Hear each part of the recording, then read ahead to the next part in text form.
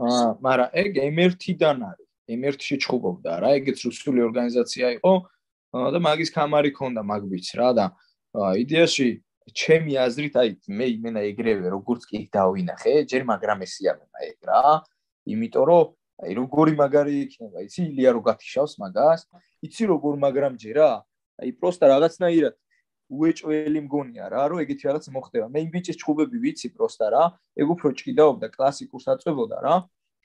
და დარტყმებს ატარებს რა და ეგრე მარტივი არა, ეხა დარტყმა გაატარო, გააჩინა ვის დარტყმას გაატარებ და ვის დარტყმას გაუძლებ რა.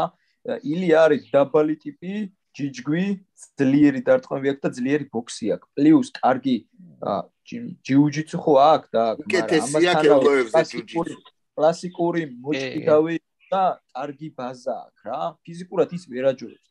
ხასიათზე ზედმეტია ლაპარაკი ხა ქართველებს ჩვენ ხასიათით ვერან მიშვიდეთ რომ აუჩვენ უფრო მაგარი ხასიათი გვაქვს რა ეგ სისულელია და კლასით ჩემი აზრით არის ეს ბევრად მაღლა რა მიუხედავად იმისა რომ ის ესეთი ну რუსეთში გაპიარებულია სიმართლე რო გითხრა ხა ინგუში ბიჭია და ინგუშები ჩვენთან ძალიან ძალიან ახლოს არიან რა ისტორიულადაც და ისედაც და რაღაცა დაფასება რაღაც პონჩი გვაქვს. მაგრამ მე მაინც მინდა რომ იმას მოვგოს იმიტომ რომ რუსეთის დროში მოდის ის და მაინც აი როგორ არიან იცი რომ ქართველებზე არიან რაღაცა ისე.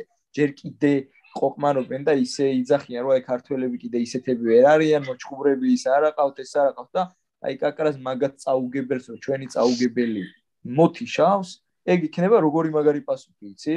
რავი მე მაგრა გამიხარდა ეგ ივენთი რომ გაიჩითება რა აი ვაფშე ეგეთი ჩუბი რო იქნება და ვაფშე. და რაღაც 100% თუ არ მაგაში დარწმუნებული აი ეგ იქნება ეგრე რა უეჭველი მგონია რომ გათიშავს რა.